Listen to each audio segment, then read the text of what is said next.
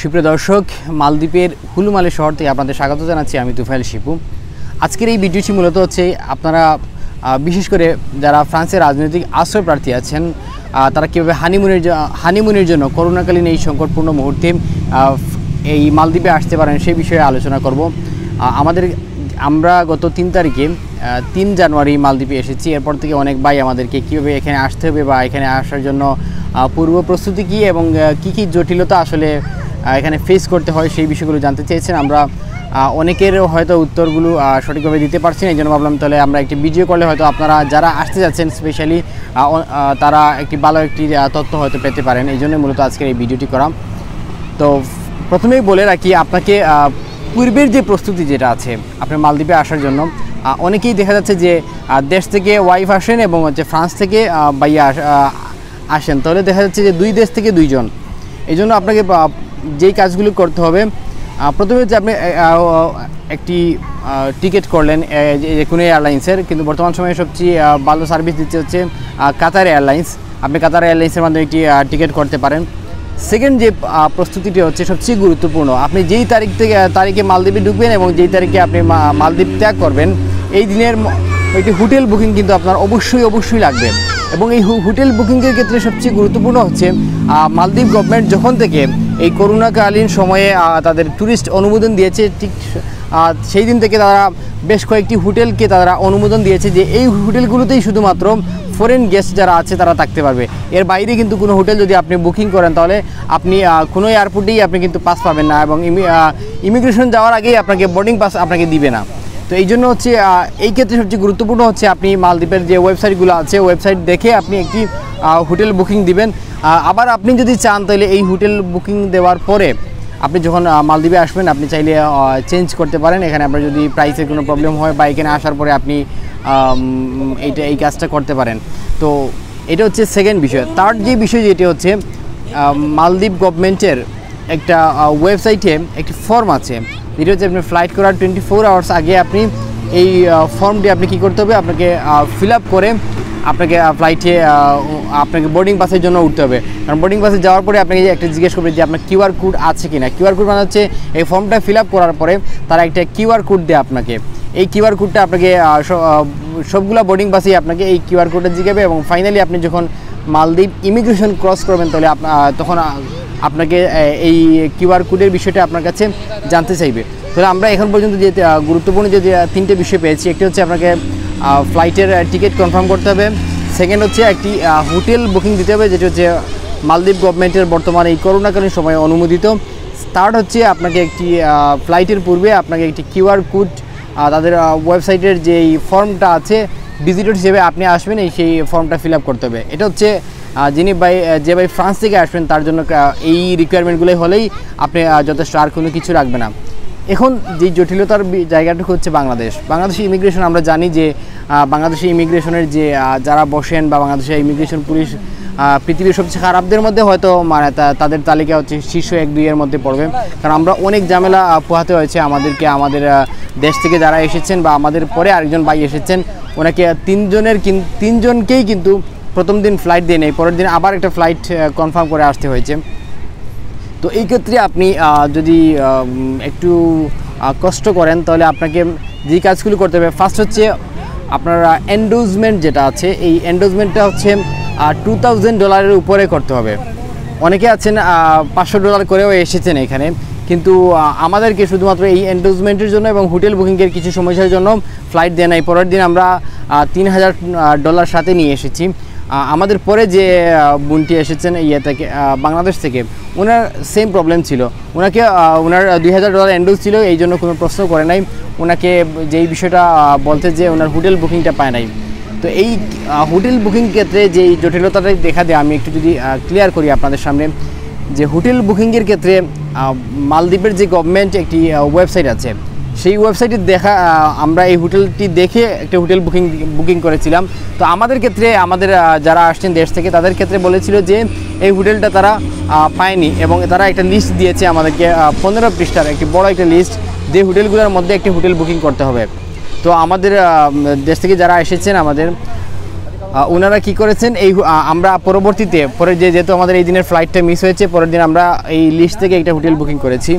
এবং আমাদের ঠিক পাঁচই দিন পরে আমাদের আরেকজন ভাই, বড় ভাই, শরীফ ভাই এসেছেন এবং ওনার ওয়াইফ যখন বাংলাদেশ ইমিগ্রেশন বোর্ডিং পাসে যান, তখন ওনাকে উনি দেখাইছেন যে আমাদের আগে যারা মানে গেছেন, তাদের এই হোটেলটা আপনি এই লিস্ট দিয়েছেন এবং লিস্ট থেকে আমার হোটেলটা বুকিং করা আছে।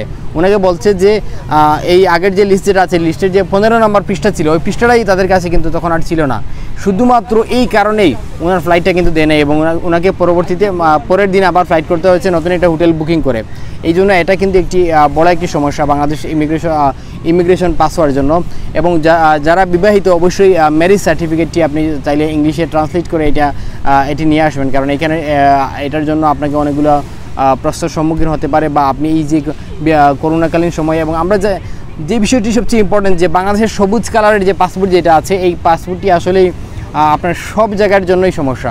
সবগুলো দেশের জন্য। বাংলাদেশ ইমিগ্রেশনের জন্য প্রবলেম সেমভাবে আপনি যখন মালদ্বীপ ক্রস করবেন মালদ্বীপের ইমিগ্রেশনে আপনাকে হয়তো অনেকগুলো প্রশ্ন করতে পারে, আপনি কেন কেন যাচ্ছেন কতদিন থাকবেন, আপনার রিটার্ন টিকিট আছে কিনা, এই বিষয়ে অনেকগুলো প্রশ্ন করবে। তো সবচেয়ে বড় প্রবলেম যেটা ফেস করবেন, সেটা হচ্ছে বাংলাদেশ ইমিগ্রেশনে এবং বাংলাদেশে বোর্ডিং পাসে আমাদের কাছে মনে হয়েছে তাদের অন্য দেশের ইমিগ্রেশনের যারা আছেন, তাদের লক্ষ্য আছে, লক্ষ্য হচ্ছে যে, যেই মানুষটা ভ্রমণে যাচ্ছে, তাদেরকে সহযোগিতা করা।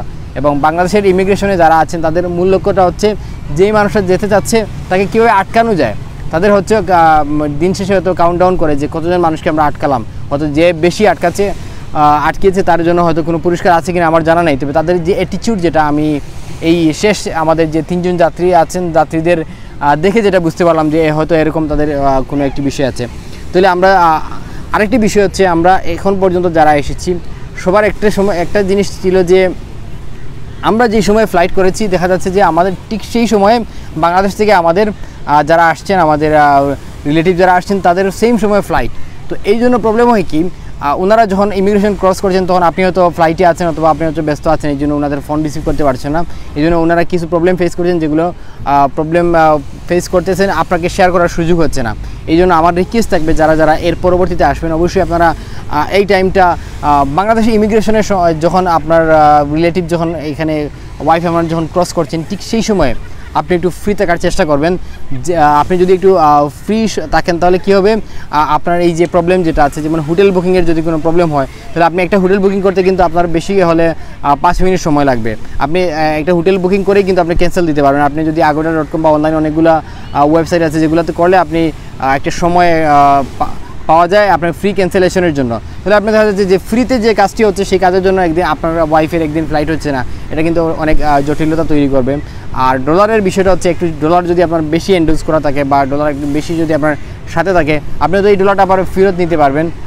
অথবা আপনি যদি ইউরো কম নিয়ে আসেন, এখান থেকে যদি বাংলাদেশ থেকে একটু ডলার বেশি নিয়ে আসেন, তাহলে কিন্তু আপনার বেশি একটা প্রবলেমে আপনি পড়বেন না।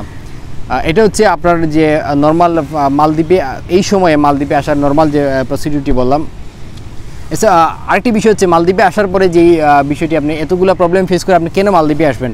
মালদ্বীপ হচ্ছে যে আমাদের একদম পার্শ্ববর্তী একটি দেশ। কিন্তু মালদ্বীপ এত সুন্দর একটি দেশ, এত পরিষ্কার পরিচ্ছন্ন, আপনি না আসলে বুঝবেন না। ফার্স্ট ওয়ার্ল্ড কান্ট্রিতে আমরা ফ্রান্সে আমি ফ্রান্স ইতালি বা পর্তুগালে গিয়েছি। এত পরিষ্কার আমার কাছে মনে হয়নি যে, এবং হচ্ছে তাদের যে মানুষ যারা আছে এত নম্র, ভদ্র এবং শিক্ষিত সবাই সবাই কিন্তু ইংলিশে কথা বলতে পারে। এই জন্য আপনাকে কোনো কিন্তু প্রবলেম ফেস করতে হবে না। এবং মালদ্বীপে জনসংখ্যা প্রায় চার লাখের মতো। আপনি যদি এখানে আসেন, তাহলে প্রায় এক লক্ষের উপরে হয়তো বাংলাদেশি পাবেন। আপনি যেই দোকানে যাবেন, সেখানে আপনি বাংলায় কথা বলবেন, কোনো সমস্যা হবে না। কারণ কেউ না কেউ একজন ভাই বাংলাদেশি আছেন এবং আপনি যে হোটেলে উঠবেন হয়তো, সেই হোটেলের সবাই হয়তো বাংলাদেশি হতে পারে। অথবা অর্ধেক অথবা তার চেয়ে বেশি বাংলাদেশি আপনি পেয়ে যাবেন। এই জন্য এই দিকে আপনার কোনো প্রবলেম হবে না। এবং মালদ্বীপের আপনারা দেখতে পাচ্ছেন, আমি একদম আমার ডান পাশে হচ্ছে আমার হোটেল এবং বাম পাশে হচ্ছে আমি আমার এই যে বিচে আমি আছি। এই বিচটা হচ্ছে বিশাল একটি বিচ এবং তাদের বেশ কয়েকটি রিসোর্ট আছে। যে রিসোর্টগুলো ওয়ার্ল্ডের জন্য বিখ্যাত এবং ওয়ার্ল্ডের সবচেয়ে নামি দামি যারা আছেন, যারা তারা এই বিচগুলোতে আসে মানে বিচগুলোতে নিয়মিত ঘুরতে আসেন এবং মালদ্বীপের ওয়েদার সবসময় হচ্ছে twenty five to thirty two এর মধ্যে থাকে। কখনো এর চেয়ে নিচে নামে না। এই জন্য সবসময় যারা ইউরোপে থাকেন স্পেশালি তাদের জন্য এটি একটি গ্রেট অপরচুনিটি আপনি একটি ভালো একটি ওয়েদারে আপনার সময় কাটানোর জন্য। তাছাড়া আরেকটি বিষয়, যারা প্র্যাকটিসিং মুসলিম, তাদের জন্য একটি ভালো সুযোগ যে এখানে যারা বিচে নামে, দেখা যাচ্ছে যারা মালদ্বীপিয়ান যারা আছে, তারা অনেকে অনেকে না, প্রায় নাইনটি ফাইভ পার্সেন্ট বুরকা পরে তারা বিচে নামতেছে। এই জন্য আপনি ওয়ার্ড সিচুয়েশন যেগুলো আছে, যেগুলো আমরা ইউরোপ কান্ট্রিগুলোতে নর্মালি দেখতে পাই যে বিচে নামার জন্য বা পানিতে নামতে গিয়ে যে প্রবলেমগুলো ফেস করি, এই প্রবলেমগুলো আমাদের ফেস করতে হবে না। আর তাছাড়া আমার কাছে যেটি সবচেয়ে ভালো লেগেছে আরেকটি বিষয় যে এখানে মসজিদগুলো অনেক বিশাল বিশাল মসজিদ এবং অনেক সুন্দর অবকাঠামো দিয়ে মসজিদগুলো তৈরি করা এবং এই মসজিদগুলোতে আপনি প্রতিনিয়ত আজানের শব্দটি আপনার বাসা থেকে, আপনার হোটেল থেকে আপনি শুনতে পাবেন এবং এখানে যে জামাতে নামাজ হয় সেটিও কিন্তু একদম মাইকে হয়। আপনি চাইলে সেই সুন্দর দৃশ্যটি উপলব্ধ করতে পারবেন বা দীর্ঘদিন আপনি হয়তো ইউরোপে থাকার কারণে যে আপনার মনের ভেতর যে একটা আকুতি আছে, আপনি ইচ্ছা মতো মন খুলে নামাজ পড়তে পারছেন না, আপনি মসজিদে যেতে পারছেন না, সেই মনের আকুতিটি আপনি মিটাবার জন্য একটি ভালো একটি সুযোগ এই মালদ্বীপে এসে পাবেন। মালদ্বীপের মানুষজন যথেষ্ট পরিমাণে আন্তরিক এবং তাদের সাথে মিশলে আপনি নিজেকে মনে হবে যে আপনি আপনাকে আরেকটু চেঞ্জ করা প্রয়োজন। আপনি অনেক কিছু হয়তো এই ওয়েদার থেকে, এই দেশের মানুষজন কাছ থেকে শিখতে পারবেন। আশা করছি আপনাদের ভ্রমণ অনেক ভালো হবে যারা সিদ্ধান্ত নেবেন যে মালদ্বীপে আসার জন্য। তবে অবশ্যই মালদ্বীপ অন্যান্য যেই দেশগুলো আছে, আমরা ইন্ডিয়া বলি, শ্রীলঙ্কা বলি, এই দেশগুলো থেকে মালদ্বীপে খরচ একটু বেশি হয়। এবং এখানে হচ্ছে আপনি প্রথম দিকে আসার পরে আপনি একটু বুঝে শুনে আপনি খরচ করতে হবে। প্লাস হচ্ছে আপনি জানতে হবে আপনার কোন জায়গায় কী আছে, না আছে। যেহেতু অনেক বাংলাদেশি আছে, তাহলে আছেন, তাহলে আপনি একটু চাইলেই, একটু খোঁজখবর নিলেই আপনি সবগুলো বিষয়ে জানতে পারবেন। এছাড়াও যদি আপনাদের এই মালদ্বীপ ভ্রমণ নিয়ে কোনো প্রশ্ন থাকে? অথবা আপনি আসতে যাচ্ছেন ফাইনাল সব কিছু ডিসিশন নেওয়ার পরে যদি আপনার হোটেল লিস্ট বা আপনি ওয়েবসাইটগুলো খুঁজে না পান, আমরা অবশ্যই ডেসক্রিপশন লিস্টে সেগুলো লিঙ্ক দিয়ে দিব। তারপরে যদি আপনাদের কোনো প্রশ্ন থাকে, তাহলে অবশ্যই আমাদেরকে নক করবেন এবং আমরা যদি মনে করি যে আপনি এখানে আসতে যাচ্ছেন বা আমাদের ব্যস্ততার সময়ের আলোকে আমরা আপনাকে হয়তো আমাদের কন্ট্যাক্ট নাম্বার দিতে পারি, যাতে আপনি স্বাচ্ছন্দ্যে এবং সহজে মালদ্বীপ ভ্রমণ করতে পারেন। দর্শক, এতক্ষণ আমরা কীভাবে মালদ্বীপ ভ্রমণে ভ্রমণ করবেন সেই বিষয়গুলো আলোচনা করলাম। যদি আমাদের এই ভিডিওটি ভালো লাগে, অবশ্যই আমাদের এই চ্যানেলটি সাবস্ক্রাইব করবেন। ভালো থাকবেন, ধন্যবাদ সবাইকে।